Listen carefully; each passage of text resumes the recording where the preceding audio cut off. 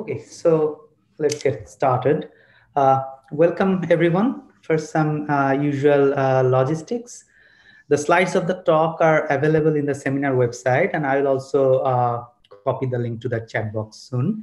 Uh, please feel free to uh, type the clarifications questions in the Zoom chat. If you have more detailed questions, there will be two or so short breaks during the talk when you can unmute yourself and uh, ask the questions directly to the speaker. Uh, please do raise hand or mention in the chat box that you have questions. Okay, so uh, it's our pleasure to have Professor uh, Mohsen Bayati from Stanford today. Mohsen received his PhD in electrical engineering from Stanford University in 2007. After that, he was a postdoctoral researcher at Microsoft Research and uh, at Stanford University during 2007 to 2011, working mainly on graphical models and uh, high dimensional statistics with applications in healthcare. Uh, since 2011, he has been a faculty at Stanford University Graduate School of Business. He received many awards, uh, including uh, the Informs Healthcare Applications Society Best Paper Award in 2014 and in 2016, Informs Applied Probability Society Best Paper Award in 2015, and uh, NSF Career Award in uh, 2016. Uh, today, he's going to talk about worst case regret of Thompson sampling and a general framework to analyze linear bandits. Uh, Mohsen, please go ahead.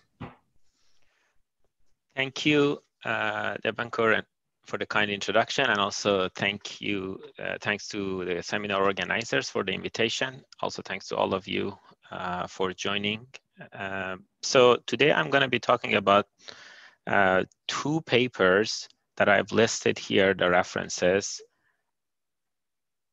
These are both joint work with Nima Hamidi, who is uh, available today. In fact, let me just show you his pictures. Oops. Sorry. So this is Nima. He's monitoring the chat. In case you have any question, feel free to post. And in fact, I should say Nima is going to be in the job market this year. Uh, so, and uh, feel free to invite him if you want to know more detail about these because I'm not really covering all of the results in our papers here. Uh, okay. So let me start with a bit of motivation before we get to the more technical details. So uh, imagine you are in a hospital and your goal is to reduce infections uh, or certain hospital uh, kind of a adverse outcome. Now you have two technologies that have never been used before for your population and uh, these are treatments, let's say A and B, and you want to figure out uh, which one is the best. And to make things even more complex, like imagine these treatments are really personalized, meaning uh, maybe some patients will benefit from kind of an, a smartwatch solution versus some other patients may benefit from uh, an iPad-based solution. So it's really not a, like a one solution fits all. Uh, now, Right. So, and, and for each patient, we're going to pick one of these two solutions. Now, the best way to do this, as you all know, is to run an A-B test or a randomized control trial uh, to find out which one of these is the best. And in general, in the healthcare space, running these experiments is very costly uh, and some even perceive them unethical for certain uh, cases you see FDA runs clinical trials for drug approval. I mean, FDA uh, requires those, but overall, for something like this that I mentioned, like telehealth solution, it's extremely difficult to get approval from the uh, hospital managers to run such an experiment. So now, so in general, there is this kind of a cost, opportunity cost of running the experiment. Now, if you go beyond healthcare, go to tech companies these days, they run tens of thousands of these experiments per year. But even in the companies, there is an opportunity cost to run these experiments. Um, because at the end of the day, you're going to see an example that there is a cost uh, for, uh, and let alone there are sometimes PR problems that appear. As some of you remember, Facebook ran a experiment and uh, there was a big PR problem for them. So in fact, uh, if you look at kind of an, spectrum that there are settings like to the left that experimentation is okay and then so these cases and then there are settings that experimentation is not okay or not allowed so to the right we're going to make greedy like we're going to want to make greedy decisions we don't want to randomize our decisions. And i'll be more concrete about these uh, in a few slides. Uh, so far we are still in the motivation phase. And uh, now multi-arm bandit experiments sit somewhere in the middle. So in a way you randomize but at the same time, you try to avoid it as much as possible using all the data up to that point in the experiment. In fact, the ideas behind this go back to 30s. In fact, that famous paper of Thompson and also these uh, papers in 80s, the main motivation for them is clinical trial because of the expensiveness of running them or sometimes unethical aspects. But tech companies that I mentioned in the previous slide uh, are in fact the main adopters like in prior literature that were motivated by healthcare applications basically all theory you don't see them being implemented which uh, i can talk about them in depth but not today that why they're still not fully implemented in the healthcare space even though we are seeing a few examples these days uh, so tech companies are now adopting them in fact this is there's a page on google analytics that shows their, how they are running these to pick uh, best configurations uh, for the publisher. So let me give you actually uh, one slide version of uh, this page. So they're describing that imagine you have two websites, A and B, with conversion rates 4% and 5% respectively. And uh, if you do some standard power calculations, you'll see that we're going to need about 20,000, 22,000 observations, roughly 11,000 uh, in each arm to detect the effect uh, with 95% power and 5% significance.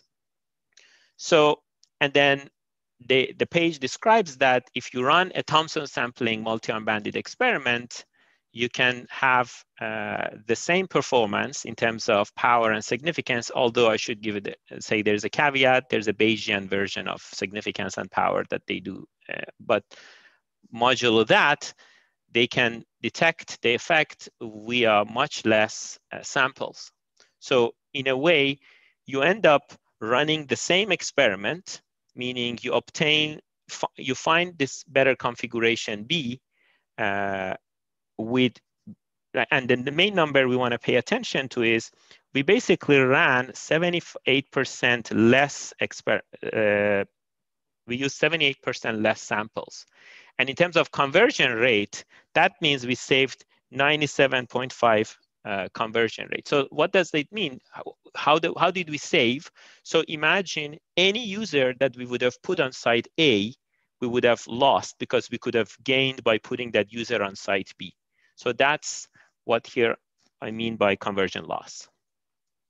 And uh, in general, like now, if you think of theoretically speaking, so so far this article is all about like uh, empirics and numbers, and these are the numbers they use to really convince their managers how to run these experiments in the companies. But from a theoretical perspective, uh, as these results from 80s uh, tell us is that imagine you have n observations. Uh, now, if you run an A-B test, half of them go to the worst configuration, so we are gonna lose an order n in terms of conversions. But if we would be running an, a multi-arm bandit experiment, the conversion loss asymptotically is logarithmic in n. And uh, there are even finite sample versions of this result, of course.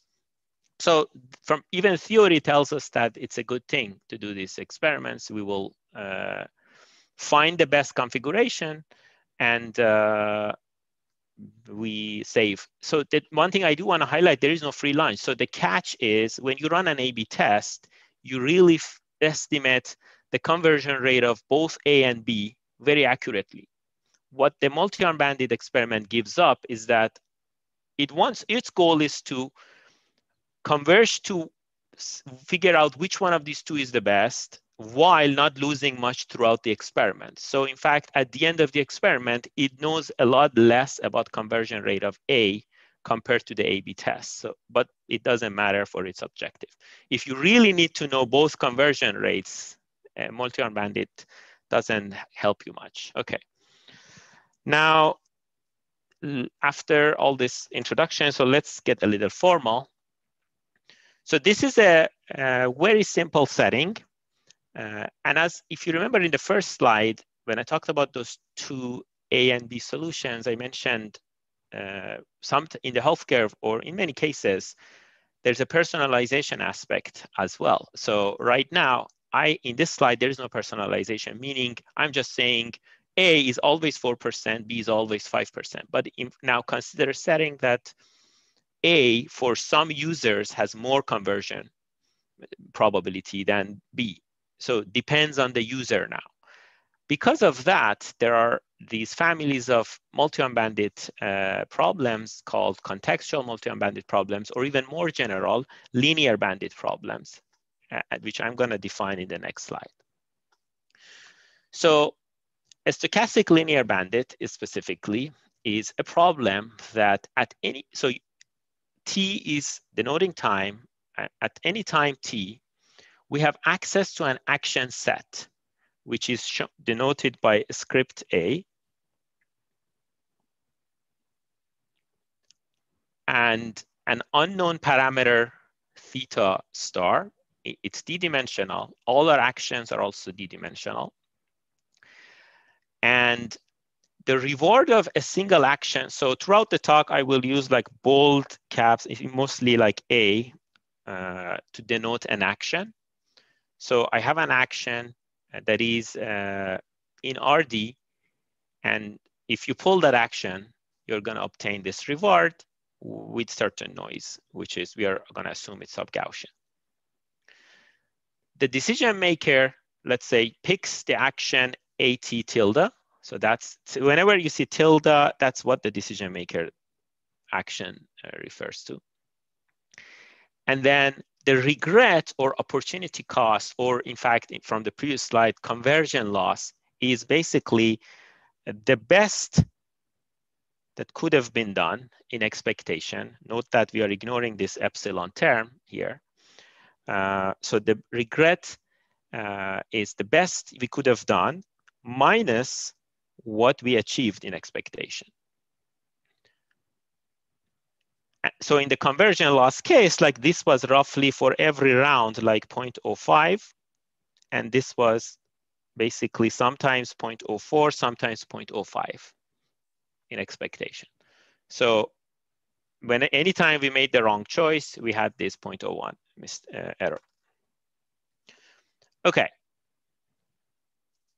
And our goal is to minimize expected value of this regret as we are running the experiment over time, over a capital T periods. So capital T. In fact, throughout the rest of the talk, I promise I'm going to stick with capital T. In the previous slide, there was N, but N will be gone. No more N. Everything will be capital T. So now, so that's the setup. Now, let me just very briefly mention that why two important subclasses, uh, like basically how we can get two important subclasses as a special case of linear bandit. So if you take the action set at time t, the standard basis vector for RD, we basically recover the standard multi-arm bandit problem without any personalization. In fact, basically, if I had d equal 2, and then I had uh, our, my theta star was 0.04 and 0.05. And th then this will give me exactly that uh, Google Analytics example, except of course here I have a Gaussian, I have a sub-Gaussian noise, there it was a Bernoulli noise. Other than that, this would recover that example. And this is the example that we mostly see when we like look up multi-bandit problems. Now let's look at the more interesting example, which has personalization.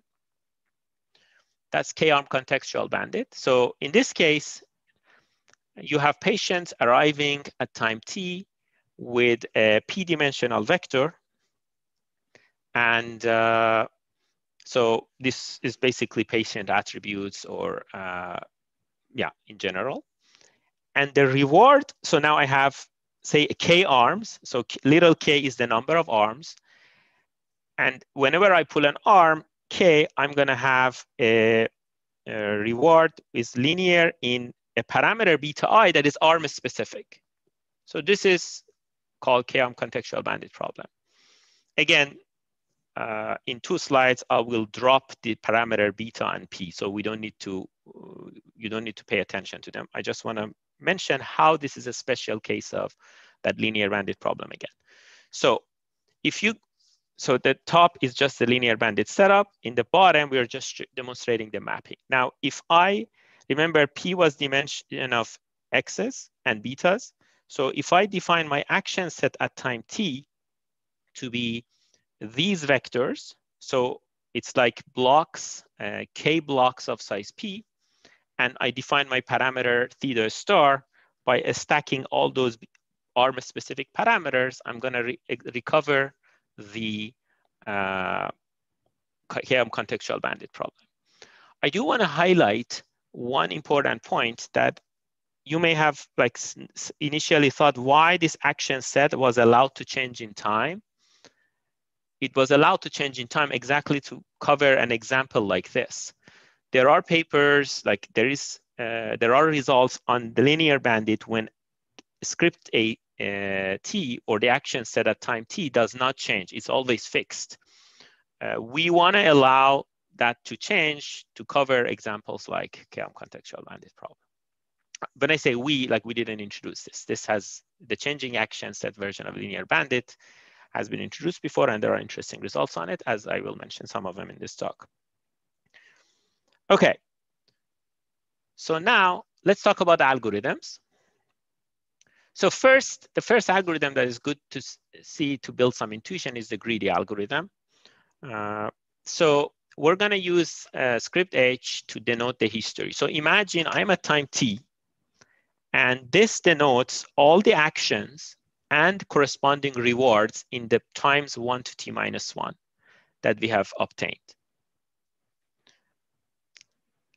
We make some estimate of true parameter from these.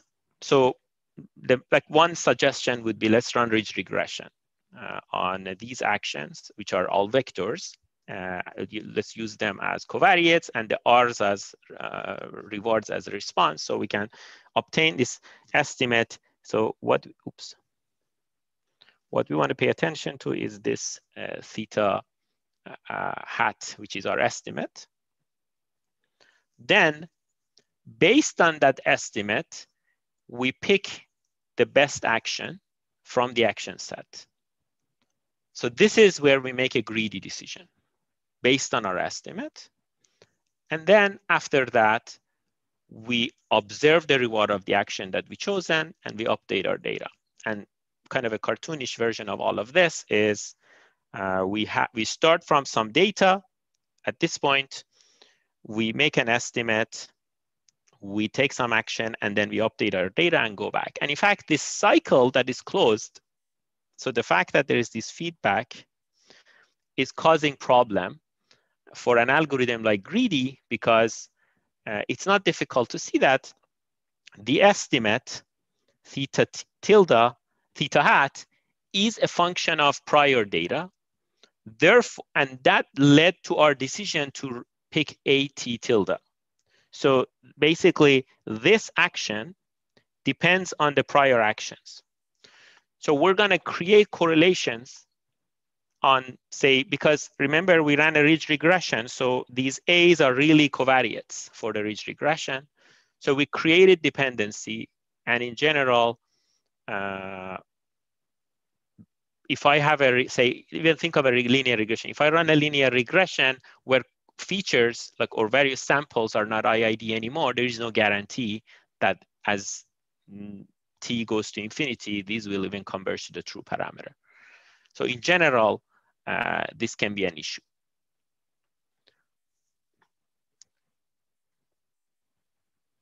In fact, uh, there are some recent results that show that sometimes in this greedy algorithm does work uh, if the uh, actions are diverse enough but it also fails in many settings, as I will show. Uh, and we have some simulations to show you. Okay. Ah. So one thing I want to highlight here is uh, because of this problem, we want to create exploration. So in an A-B test, at this phase, you always randomize. There is no greedy decision making. You just make a random decision to block this cycle. Now there are these multi-arm bandit algorithms, uh, which we will talk about them, like Thompson sampling or this like kind of a OFUL, uh, uh, which are or well known in the literature as like also UCB. They try to deviate from greedy decision at this phase by injecting some randomization. Okay, so let me now uh, talk about these various algorithms in our setting, a stochastic linear bandit setting. So Thompson sampling is Bayesian in nature, uh, which means we are assuming the true parameter is random from some prior. At time t, you calculate a posterior distribution. So given the data we've, we've seen so far, so remember this is prior actions as well as observed rewards.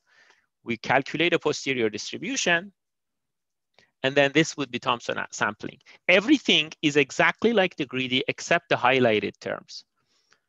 In the greedy, for the green step or step two, we use the ridge regression to get a theta hat. And now we have a theta tilde, which is uh, a random sample from the posterior.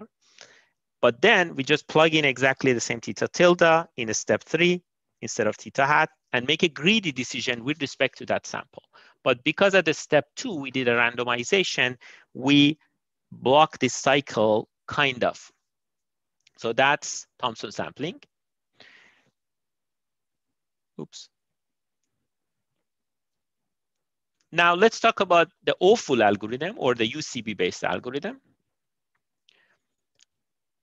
So this one, there's a bit of a notation first I introduce. Uh, so this true parameter is estimated first via ridge regression. And for the sake of like simplicity in this talk, anytime I say ridge regression, just assume this lambda regularization parameter is one. So lambda is one anytime in this talk, just to make things simple. Now, this is just basically how you obtain the ridge estimator. Uh, and these a tildes and R's are just past actions and rewards. So we, and this is just the identity matrix, the d-dimensional identity matrix. So this matrix VT minus one is an important entity, which it appears everywhere in the talk. So if you see VT, so this is the slide, slide 15. Uh, given that you have the slides, you can go and look, look it up again. So once we have these, we can construct a confidence set, CT. So CT will be all parameters theta in RD. So to the right, let's just look at the right, which is a figure. So any parameter theta, uh, so theta refers to a, like a point here that has a distance with this norm, like this is the norm. So norm is a function of this VT matrix. Uh, that is less than uh, the uh, radius, which I'm just gonna, again, for simplicity, there's a little more involved terms in the paper, but uh, the gist of it is it's something that is order square root d log t. Okay, so now there's this famous result uh, by uh, Yadkori et al. that uh, with very high probability with this construction, the true parameter lies here. So you may have seen like that I put this true parameter here. So this is a very high probability event given the construction that you see here. It uses self-normalized processes uh, theory to obtain this result. It's a very nice result. Uh, and once you have that, you basically obtain this algorithm, exactly again, same setup as Thompson or Greedy, except there are these highlighted changes. So the step two change is pretty much similar. So now instead of uh, theta, uh, like again, we use the ridge estimator, but the most important change is this one. In Greedy and in Thompson, this one was just a dot product, but here there's also a supremum over this set uh, CT.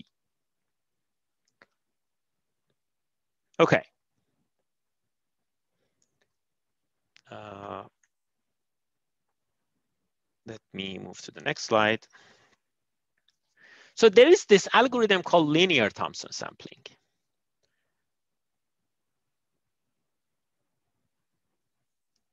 It's basically the same Thompson sampling algorithm, except it assumes noise and prior distribution are both Gaussian. Again, for simplicity, I'm just gonna take identity for the covariance matrix of the prior. So it's normal zero identity.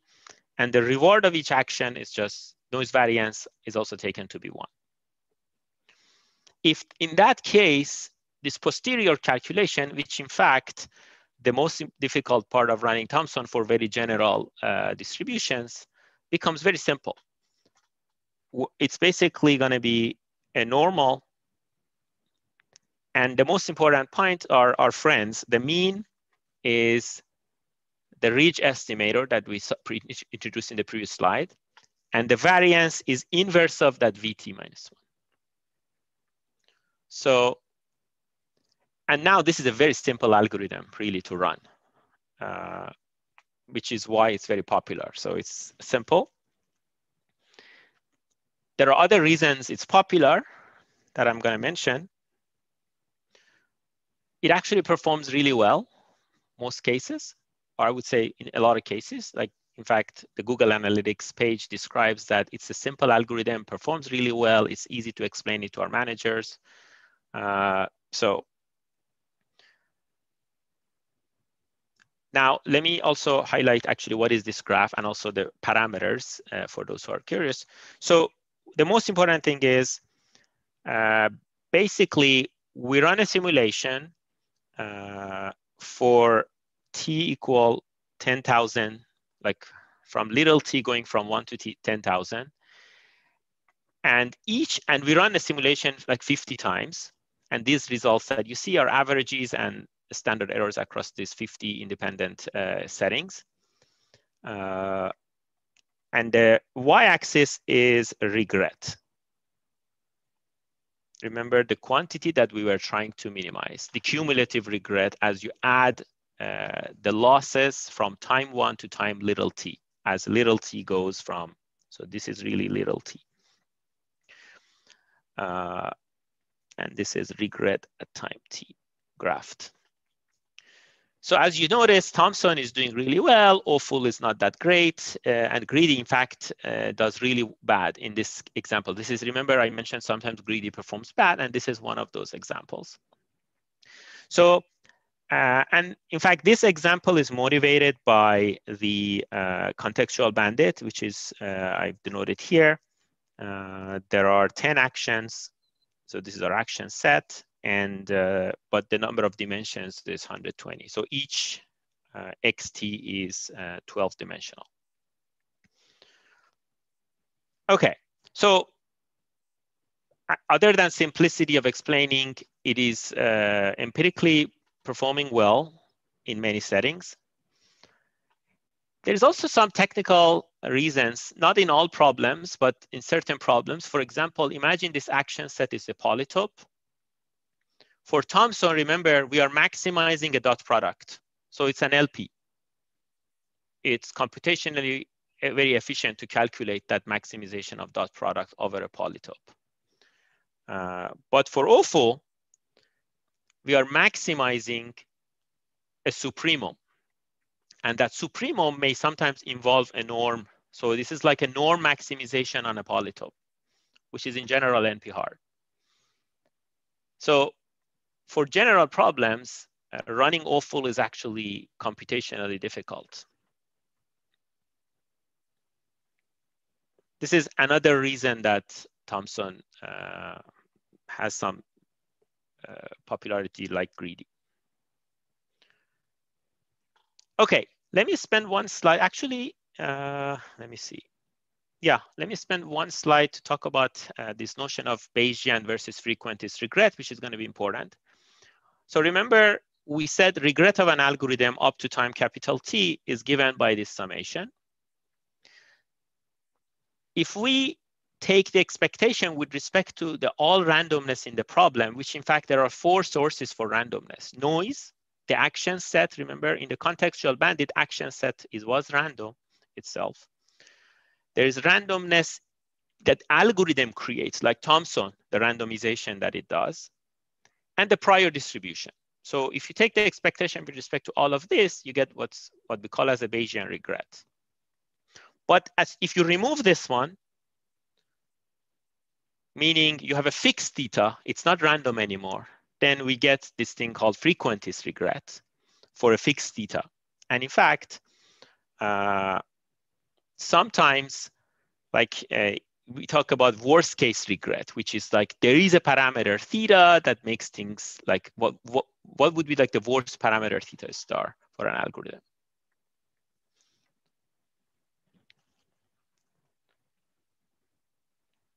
Now, let's give you like a quick summary of existing results on this.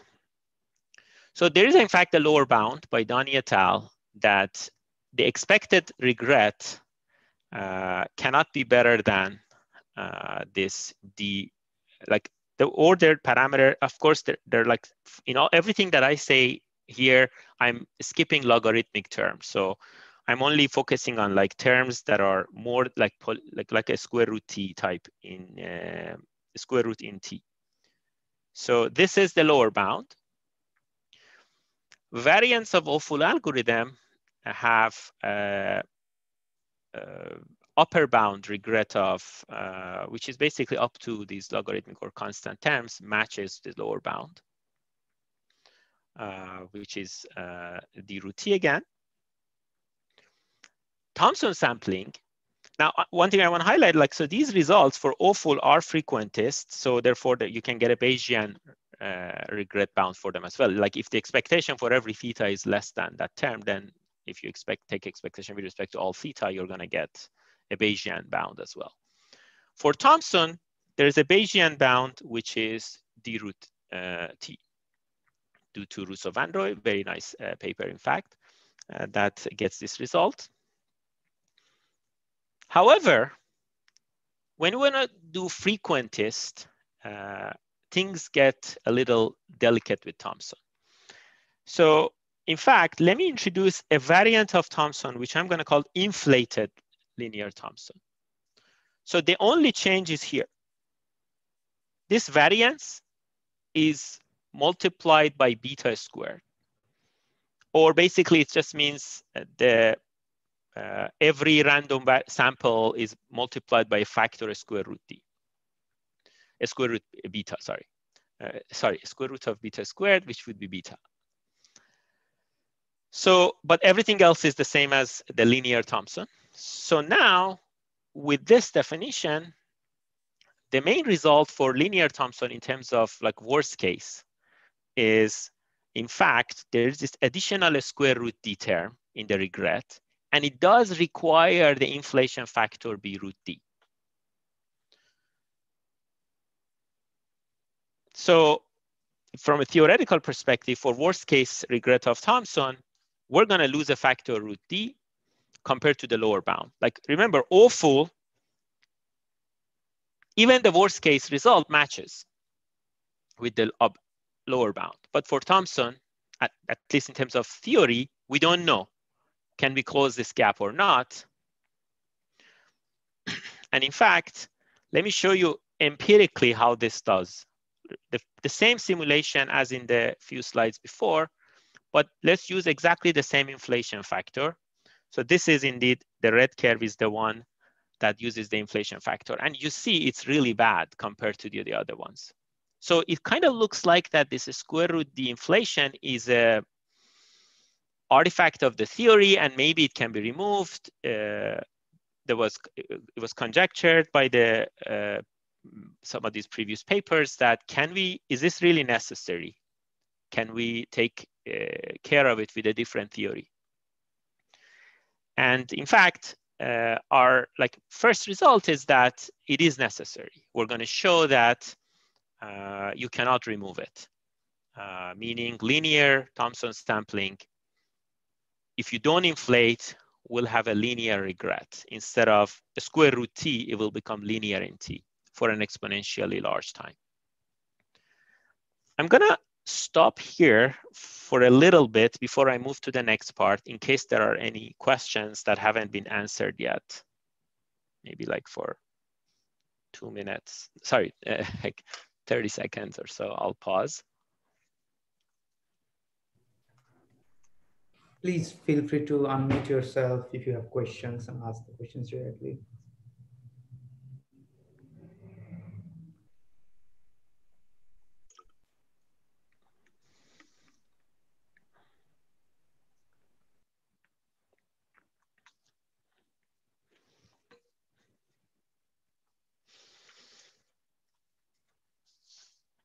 Okay. As expected, Nima has done a great job of answering the questions, so no questions. Let's move to this second part. Uh, we want to show that this Bayesian analysis is quite brittle, in fact. In fact, the result is there exists a family of linear bandit problems such that for an exponentially large time, Bayesian regret of linear Thompson is uh, linear. So let me just uh, like decipher this a little more. So remember beta was the inflation factor. And we said the prior papers said take beta to be square root d. So if you take beta square root d, then this is a constant. So it's okay for a constant number of rounds to have a linear regret. And after that, life is great, which is why those results are there. But uh, this inflation is going to hurt us on the regret, as we saw. And this result shows that if you don't inflate by something of order root d, it will hurt us on the regret even more, uh, linear in t. So how do we achieve this result? So we're going to, in fact, construct two sets of examples. I'm only going to show you one set of examples that uh, this kind of problem happens. And then after I show you the examples and some simulations, I will try to discuss uh, under what conditions these, like, are these very obscure scenarios or they're very generic? So I try to sum up, come up with a family of conditions that uh, under which the linear Thompson does not need a, such a large inflation and it will work. So we will, we will take normal, again, this as our prior. In fact, what's starting here in this example is true noise is zero. But linear Thompson, of course, assumes noise is Gaussian. That's like by definition, linear Thompson assumes noise is Gaussian, and it's just like zero, one. And then let's talk about the action set. So again, what I wanna uh, the remark one is data is better than what linear Thompson expects because the true noise is zero. So we are really giving high quality data to linear Thompson. And remark two is you're gonna see the action set will change over time. And in fact, one may ask, is it really the fact that the action sets are changing? You're gonna see these action sets in the first example are chosen like as it looks like by an adversary. But later, we will show that we, will, we have another example, which I will not cover today, uh, but it's in the paper, that no, you really don't need the action sets to change. Uh, we actually have an example for multiple examples when the action set is always fixed. But what is changing now is the mean or correlation mismatches. So let me actually go back uh, in this one. Here, we are not, uh, so Thompson, in fact, uh, not gonna assume that the mean of the uh, true parameter is non-zero. Uh, like it's not going to assume. So, uh, but what I will uh, so that this prior is in fact uh, zero, centered at zero. But for those other examples, we're going to make the prior centered at some non-negative, uh, non-zero number. And uh, there is a version of it that we're going to deviate this from being an identity.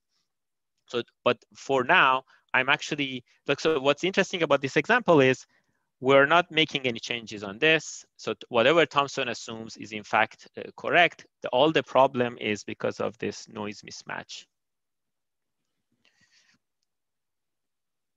But I do want to mention that the changing uh, action set is not critical. So let's talk about example one. So there are three time periods, like the first initial time periods. At time one, the action set is just the, so remember, these are the basis vector. So this is the vector with the first coordinate equal to one. And, the, and in fact, in this example, we are taking a 2D dimensional problem. So the true parameter is 2D dimensional. First so first time uh, we have the first basis vector. At time two, we give, give the algorithm the second basis vector. And uh, at time three, we give both of them, E1 and E2. Now, what's interesting here is that, in fact, we call this like a bias introducing action set. What's interesting is that after the algorithm uh, is given these three, the linear Thompson sampling is given these three actions, at time four, it has an estimate. This is the ridge estimate. You can prove that this thing, this dot product in expectation is positive. Remember, the true parameter theta star has a zero mean. So this should technically, if our estimate is good, uh, our estimate should have also a zero mean here. So this is a bias. And this bias is really the selection bias because of the noise uh, in our estimate. Now, how do we, we're gonna, so this, consider this as a building block, this example. And now we're gonna, remember we have 2D dimensions. And we, so far we only use two dimensions, only E1 and E2. Now we're gonna have D uh, blocks of two in a 2D dimensional space. For each block, we will use the same action set in the next round and next round and next round. So take D replicas of these bias introducing action sets. Each replica needs three time periods, so you really need 3D time periods. So once you do that, we're gonna be basically introducing a bias for every pair like of coordinates, two consecutive pairs of coordinates, we have a bias when you add those two pairs in that direction. So these small biases, these biases are very small, but once you add them together, so from that time period on, the action set will be zero and B, which is the opposite of all those bias directions. So basically like, remember E1 plus E2 is the first bias direction. Then we have E3 plus E4, the second bias direction, etc.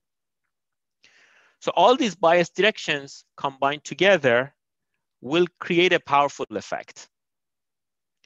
What happens is we can now provably show that when these large, probability that Tom, this linear Thompson selects the B, action B, which is against uh, direction of the positive bias, probability of selecting that is exponentially small.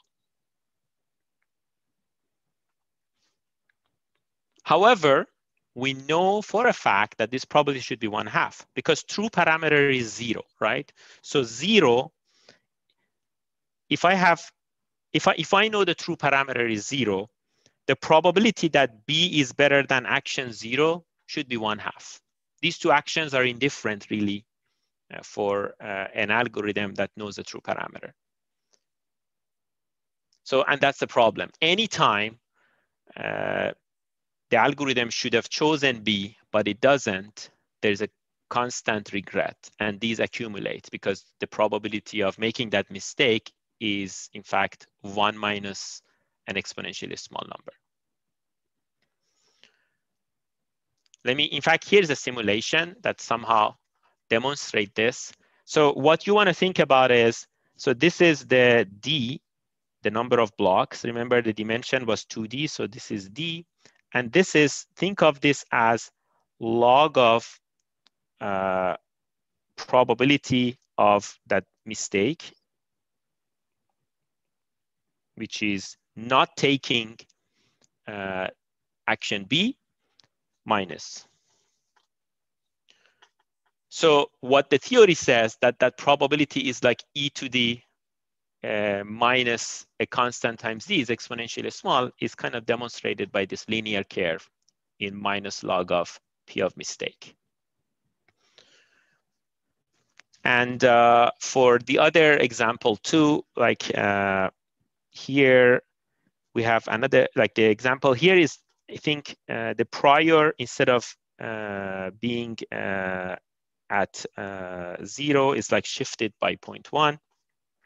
And we see similar scenario. And this is, this is again, I didn't even explain example two. And ju I'm just trying to highlight that this uh, probability of failure is really going down even now. The effect is instead of linear quadratic if you increase mu mu is the amount of deviation we inject in the uh, expectation. And rho here is a correlation. So if we create deviations in correlation remember the true uh, like the what thompson thinks is all the correlations are zero. And now we inject the correlation rho. And uh, the effect in that seems to be linear. Okay, so I will I will try to give some intuition because this all seems a little bit so far uh, kind of like where did this come from? Like I will try to give some intuition when we're going to try to fix things. So I do want to mention that there is some recent literature that uh, so when Thompson uh, doesn't know the mean but knows the variance, it turns out uh, we can be shown that uh, regret can be regret loss uh, can be only up to a constant. And in fact, there is uh, it in the same spirit of what, what we're going to do next, because we're going to talk about like uh, so in a way, we're going to talk about uh, how to slightly modify Thompson or and under what conditions things work. So there is this paper that demonstrates that for the just the standard KR uh, bandit version, uh, a variant of Thompson actually does close the gap and doesn't need the inflation. Okay, so let me try to uh, answer this question of when does it work? And then it kind of builds on what we talked about on example one. So before I introduce, I'm going to introduce two assumptions, but before I introduce this assumption, let me actually try to give a little bit of intuition. So good luck to me to try to write down here, but uh, this pen is not great. But basically, assume that the action set, like for the sake of intuition, assume the action set is just zero and a single arm A star, which is the best arm. And this means we want, like, this means we have this thing. True parameter times A star is positive. But linear Thompson LinTS picks a star if this is positive.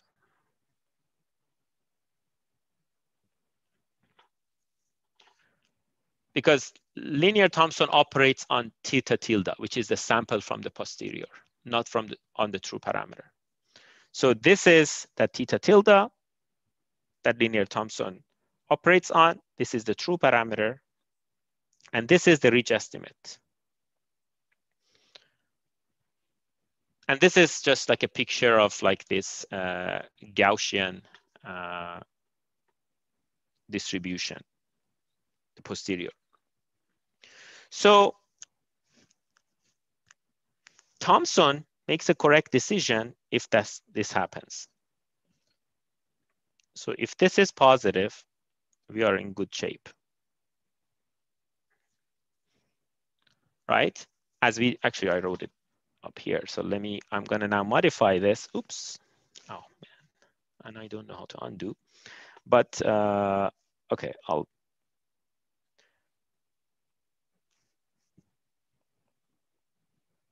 so this is, I'm gonna write this thing. Remember, I want this to be positive.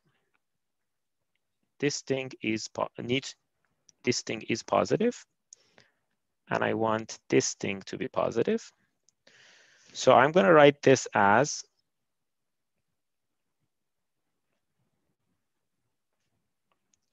In fact, my writing will end in a second.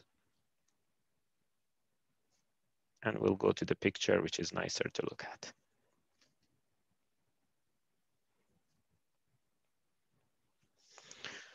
So this is just algebra, basic algebra. So now, if this thing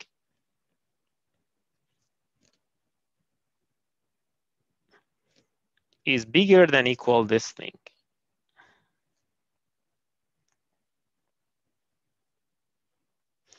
if the, this dot product, now it's now easier to look at the picture. The left-hand side vector is the blue vector in the picture multiplied by A, which is this vector. So if the dot product of these two is bigger than the dot product of the red vector and A, then what happens is you can show that this is greater than or equal zero. And in fact, Thompson will make the correct decision. So it all boils down to the fact that you want the dot product of the uh, blue vector by A be bigger than the dot product of the red vector by A. But what happens is, uh, so now for simplicity, we're just gonna call this like C, like the blue vector, and this E. And I'll tell you where these come from. So E is refers to error because that's estimation error. Theta hat is our estimation. It's a ridge, ridge estimator. It's the center of the posterior distribution.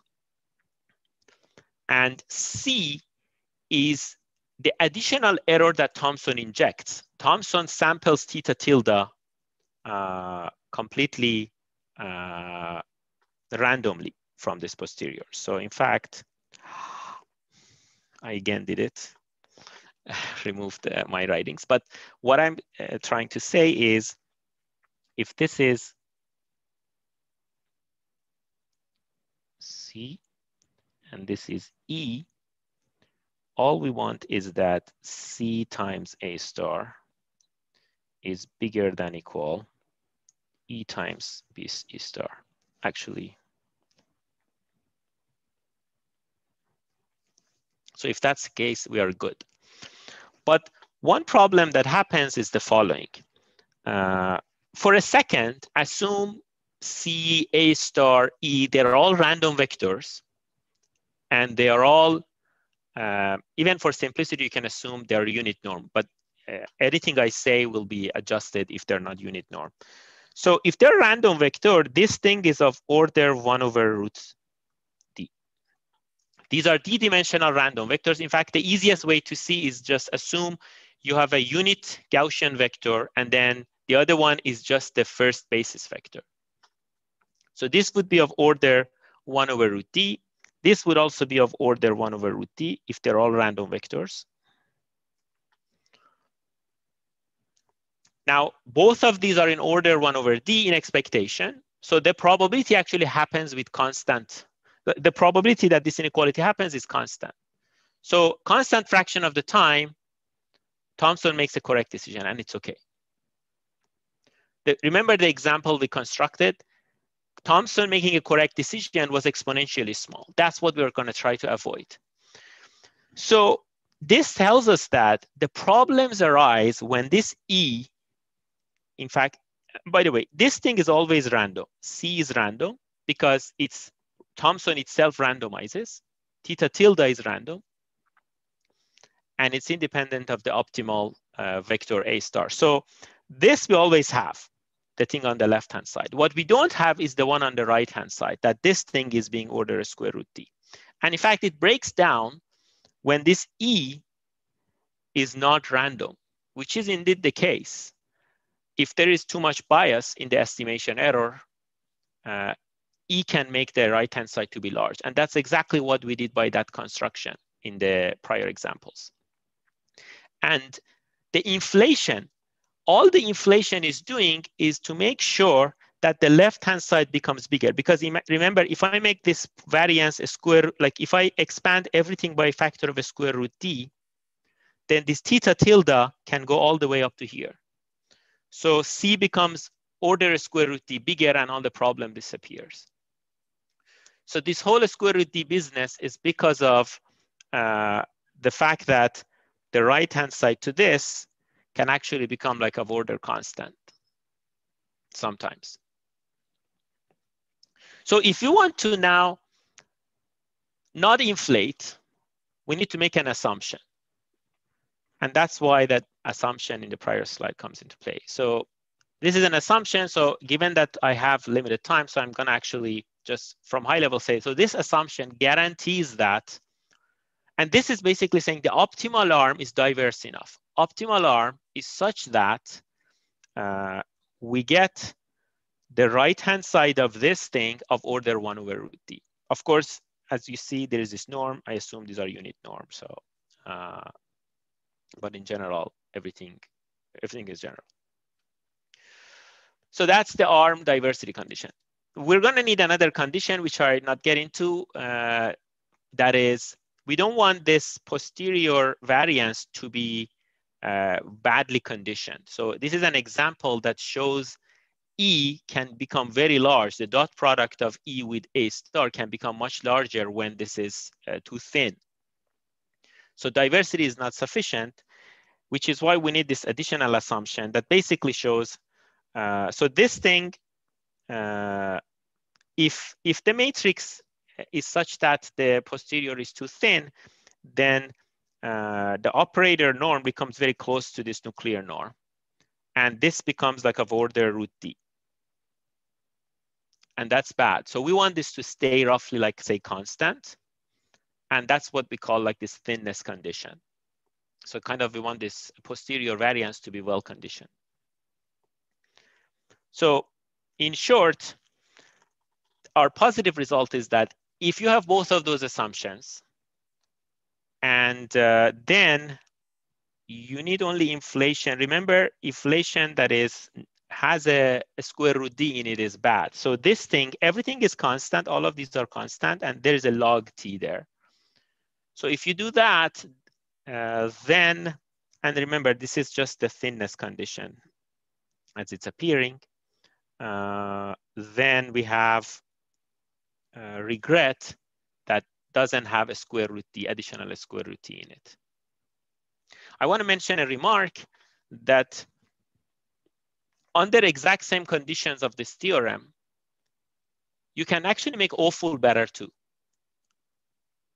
OFUL, you can basically shrink the radius of the confidence sets of OFUL by the same factor. Uh, and in a way, you're, you're shaving off a, a, root d from that. It doesn't improve its regret, theoretically, interestingly, but empirically can help you. And I'm just gonna call that improved OFUL. And let's go to uh, like just simulate, this is exact same setup as before. So what's new here is this improved OFUL,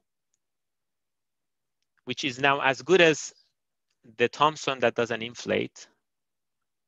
And then this purple one, which is now as good as the OFUL, uh, is a version of Thompson, which in fact theoretically works in the worst case. It doesn't need the square root inflation and in terms of performance is as good as the original OFUL.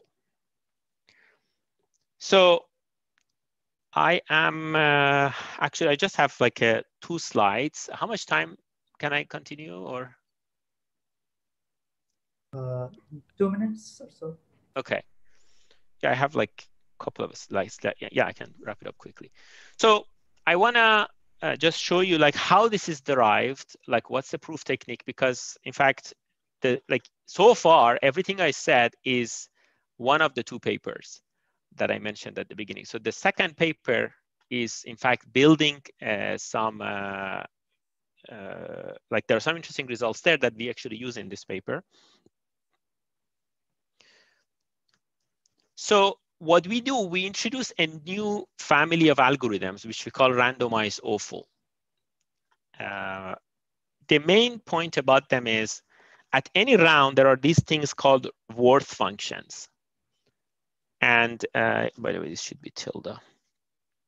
So instead of like what Thompson or OFUL do, do, or greedy, so we have these worth functions, which is a function of the, what's, what makes them interesting is that they can be a function of the history as uh, well as like RD. And the algorithm just makes a decision, greedy decision based on these worth functions. So, so far there's nothing interesting. What's interesting is that there are two conditions in that paper that we introduced. One is called reasonableness. The other one is called optimistic in expectation. And reasonableness roughly means that uh, the expected arm, uh, so there are some intervals that the expected, for each action, uh, the expected re reward of that action is close to this worth function for that action with high probability. And optimism uh, basically means the squared deviations to uh, of this worth function uh, kind of for the compared to the true reward versus a true action, the best action, and then the action that we pick, uh, they're constant fraction of each other. Again, I'm not doing justice to de define these two conditions, but the most interesting part, uh, I would say, is the following. All of the algorithms that we saw today and some algorithms that we don't, didn't talk about today are special cases of ROFUL. Thompson, linear Thompson, improved Thompson, OFUL, improve OFUL. Uh, they're all special cases of ROFUL. So we get a single proof for all of these algorithms regrets. And that's how, we, in fact, there are positive results on Thompson uh, is obtained.